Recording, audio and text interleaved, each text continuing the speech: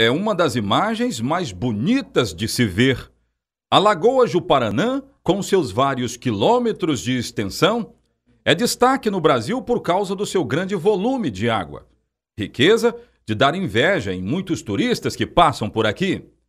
A natureza aqui é viva, exuberante, cheia de graça.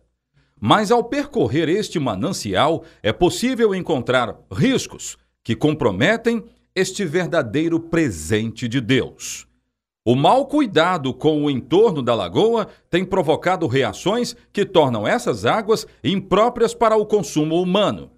Bastaram poucos quilômetros para que o primeiro problema pudesse dar o ar da graça. Olhar a Lagoa Juparanã é ver, de fato, uma beleza incontestável. Agora, as águas da lagoa revelam também preocupações. Note que, de longe, muitas pessoas veem a Lagoa Juparanã naquele tom azulado. Só que bem de perto o que nós notamos é que a água ganha uma cor mais esverdeada. O biólogo Luciano Cabral vai nos responder por quê, se isso é problema ou é solução. Luciano, e aí, problema ou solução? É, infelizmente é, é problema. Uma vez que é natural você encontrar algas né, na água, é o local delas ali, né, é, é normal o habitat delas. O problema é em grande quantidade. Então essa grande quantidade é que nos causa espanto. É, isso já mostra que existe muito, muita matéria orgânica, ou seja, muito, muitos nutrientes para esses é, seres. Então, é, essas algas começam a se multiplicar exageradamente e a grande população de algas na superfície da água dá essa, esse tom esverdeado. Não verde necessariamente da natureza.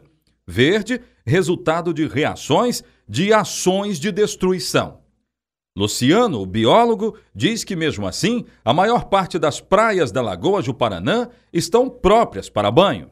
Todo banhista ele tem que ter um bom senso de ao chegar à praia, o local que ele vai tomar banho, observar. Se houver presença de bolinhas verdes, grumos de, de algas, né? as algas é, estão sendo podendo ser vistas a olho nu, é, nós indicamos que ele não entre na água naquele local e naquele momento.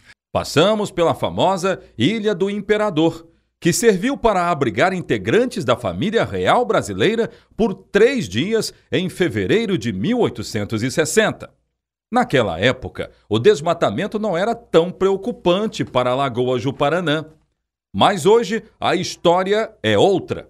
São muitas plantações nas proximidades do manancial que revelam desmatamentos e desmoronamentos de vários barrancos.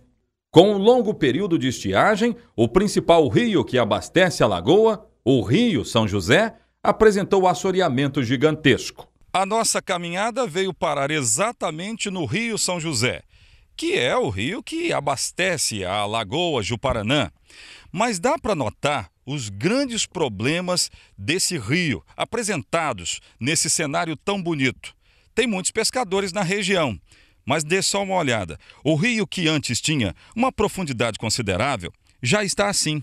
Note bem, já dá para ver o fundo do rio, muito raso muito assoreado. Então você tem ao longo do rio a ausência da mata ciliar, aquilo que vai reter o solo. Então você não tem qualquer chuva que dá, pisoteio de gado, tudo isso esbarranca a margem do rio e joga todo esse, esse, esse sedimento para dentro do rio, causando assoreamento. E o que isso causa diretamente é, na lagoa é a diminuição do fluxo de água, além, é claro, da captação ao longo de todo o rio. Então há o desvio de, de água, de recurso para as plantações é, e com isso a lagoa acaba sofrendo porque o maior contribuinte da lagoa é o Rio São José. Vale lembrar que neste jogo todos perdem. Este pescador lembrou que o rio já não está para peixe há muito tempo e lembrou também de épocas de grande abundância de água e, consequentemente, peixe. Quando eu voltei um dia lá, que, o rio encheu, né? Tava aquela correnteza aqui, que eu fui naquela beirada, ela chegou lá, tá aqui de destaca só, o resto tudo areia. Aí acabou a pescada, aí tem que sair procurando, né? O diagnóstico principal desta viagem pela Lagoa Juparanã é que, se as coisas continuarem como estão, os moradores e turistas que visitam Linhares podem ficar sem este grande recurso natural de águas tranquilas, de pássaros que voam e querem ter o seu habitat natural preservado para o bem de todos.